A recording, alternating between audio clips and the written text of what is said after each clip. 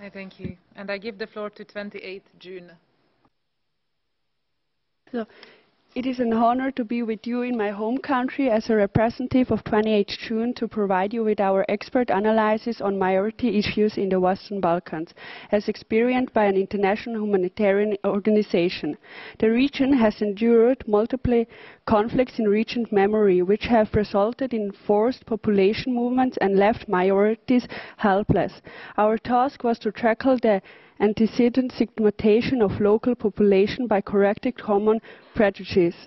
A multi-stakeholder initiative is difficult to pilot if the population in, this, in, in distress has been widely portrayed as antagonistic antagonistic like the Serbs have been for the past quarter century. Today, ethnic Serbs are by far the most discriminated minority in the Western Balkans and face sustained and medical campaigns which aim to eradicate their culture in Croatia and in the unrecognized state of Kosovo.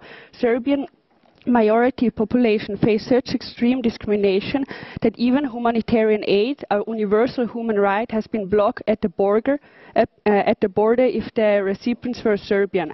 However, we remain confident and optimistic as our lobbying of international bodies like this one has in some cases forced domestic actors to allow us to do our work free of ethnic basis and religious discrimination.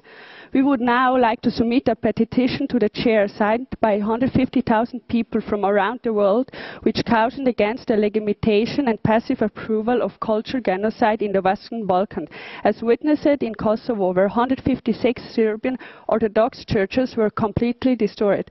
We implore bodies of the United Nations like UNESCO and the HRC to protect the cultural identity of minorities because it's the anchor of their security.